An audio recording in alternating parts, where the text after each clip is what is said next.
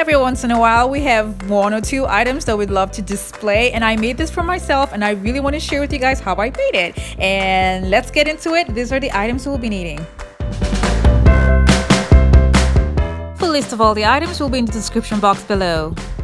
We're going to start off by gluing the beads around the corners of the mirror.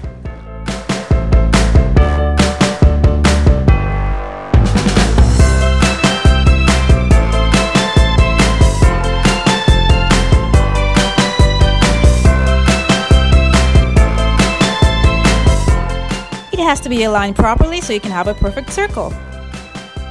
And when we're done with the top, we're going to repeat the same thing for the bottom.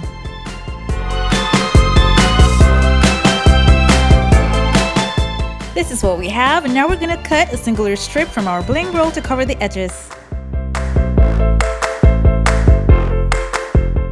I forgot to mention that before you start the project, you need to take off the stickers and the pads at the back of the mirror.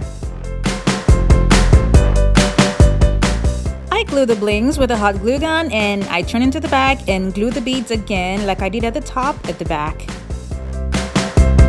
Now we're going to take two beads and glue them together and a singular bead glued at the top forming a pyramid design. Now this is what we're going to be gluing at the top of the design that we initially had on the mirror.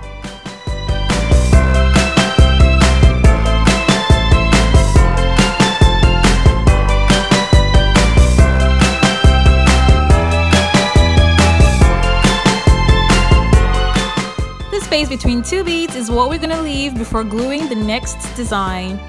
And we're going to continue with that same pattern until we get to the end.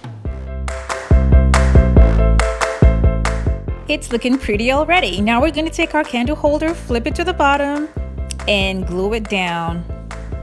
We're going to be flipping our designs over and safely keep it on top of an object so we can have a proper location of the middle. I'm gonna secure it down with an E6000 glue and here she is. It's so pretty and it's a very nice statement piece. I chose the size of mirror, but you can choose a bigger mirror for this design, of course. But I mean, this is so that you can have that one or two pieces that you really want to show off. This can also be like a gift item that you can give like your mom or your sister or your loved one. In my opinion, it is so cute because it's petite. That means small or little in French. Let me know in the comments section below if you guys would like to make this same design on a bigger mirror or on the same size of mirror as I used in this video. This was an interesting DIY and I hope you guys enjoyed the video and remember to like and share. Thank you so much for watching and I have other videos linked in the description box below to check it out and don't forget to click on the subscribe button.